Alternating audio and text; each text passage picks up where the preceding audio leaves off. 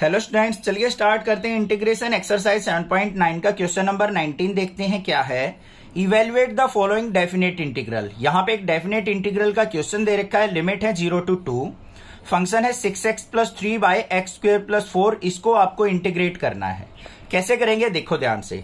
Limit हमारे पास क्या है? ज़ीरो से two six x plus three by x square plus four d अब देखो बच्चों अगर इसका डिफ्रेंसिएशन ऊपर प्रेजेंट होता तो इसको डायरेक्टली टी पुट करके कर लेते। अब इसका डिफ्रेंसिएशन भी ऊपर प्रेजेंट नहीं है। ऊपर लीनियर फॉर्म है, नीचे क्वाड्रेटिक करना क्या है? बस सिंपल सा काम होता है, दोनों को अलग अलग कर दो। क्या हो गया भाई? ज़ीरो से two six x by x square plus four और प्लस में इंटीग्रेशन ज़ीरो से two three by x square plus four दोनों को क्या कर दिया? हमने सेपरेट कर लिया। अब दोनों को आसानी से हम इंटीग्रेट कर सकते हैं। इस वाले में आ जाओ। Put x square plus four is equal to t x square का क्या हो गया? Two x d x is equal to d t आ गया या नहीं?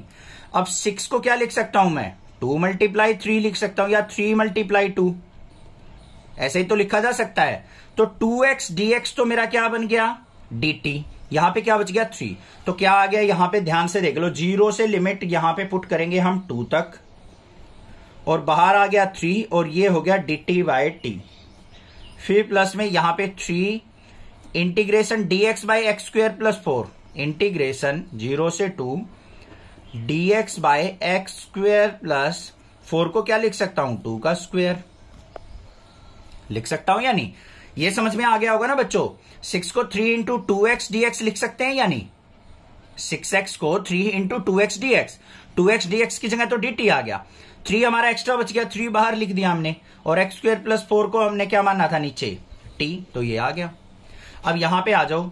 इसमें मत पुट करना एक्स स्क्वेयर प्लस फोर को टी इस, इसमें मानना था हमने। इसका इंटीग्रेशन क्या हो गया? थ्री इंटू लॉग टी और लिमिट कहाँ से, कहाँ तक? ज़ीरो से टू प्लस में थ्री। ये किसका फॉर्मूला बन रहा है? टेन इनवर्स वाले का। तो क्या हो गया? यहाँ पे क्या होता है? ये वन बाय ए मतलब one by two tan inverse x by a x by two और लिमिट कहाँ से कहाँ तक? ज़ीरो से टू तक। अब पुट कर लो लिमिट टी की जगह पहले हम फ़ंक्शन पुट करेंगे। Three into log x square plus four limit zero से टू फिर प्लस में three by two tan inverse x by two limit zero से टू पुट कर दी सारी लिमिट हमने। अब देखो आ जाओ।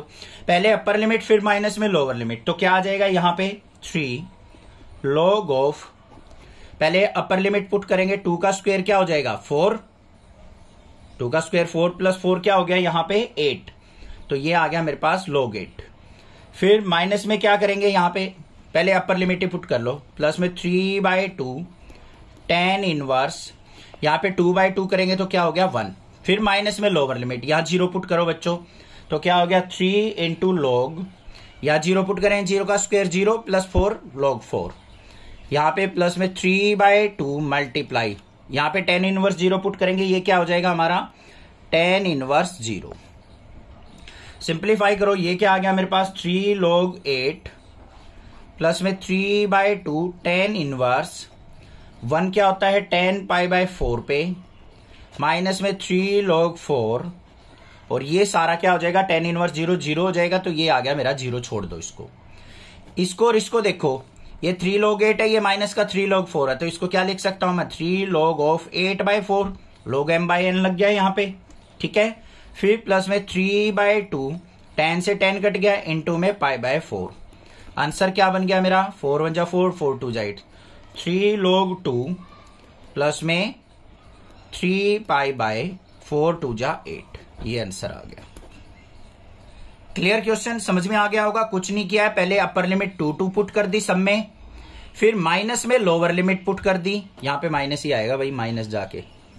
ये तो ज़ीरो हो गया वैसे भी, कोई दिक्कत की बात नहीं है। तो फिर हमने ज़ीरो पुट कर दिया एक्स की जगह तो ये आ गया। इनको सिंप्लीफाई कर दिया, आंसर आ गया आपके पास। कोई दिक्कत नहीं होनी चाहिए, कोई भी प्रॉब्लम नहीं है क्वेश्चन में, सिंपल सा क्वेश्चन था। कोई भी दिक्कत लगे, आप मुझसे पूछिए अदरवाइज़ चैनल को ज़रूर सब्सक्राइब कर लीजिए। Thank you students for watching next classes video